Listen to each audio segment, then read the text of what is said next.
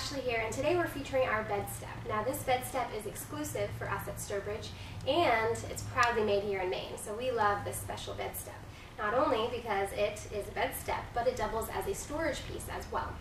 Firstly, I want to show you how you can step up on our bed step. Two steps, and you can have it right alongside your bed to feel safe getting into your bed. And one thing to note here is that our bed step will only support up to 250 pounds, so keep that in mind.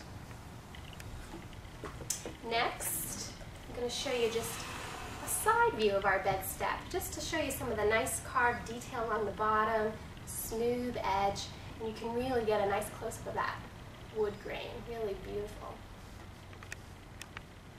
Okay, next, the storage step is located in the top step. So I'm going to open that up with our metal hinges there, keeping it nice in place, and give you a close-up look up inside the bed step. And your storage space measures at about a little over 5 inches in height by a little over 3.5 inches in depth, just to give you an idea of what you can fit inside. And some of those things you can put in there are small books,